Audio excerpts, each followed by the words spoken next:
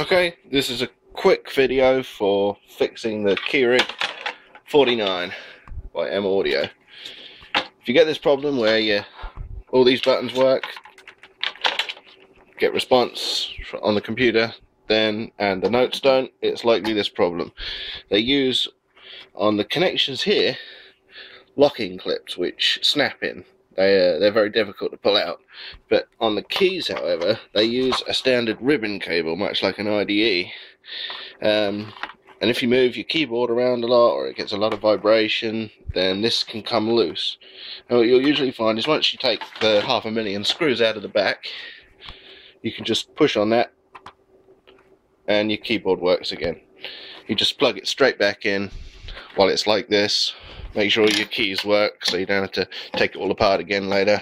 Um, if your keys don't work, you've probably seen the graphite thing. Take all these off, take the keys out, rub a bit of graphite under the rubber um, contacts, make sure they all work, and you're set to go.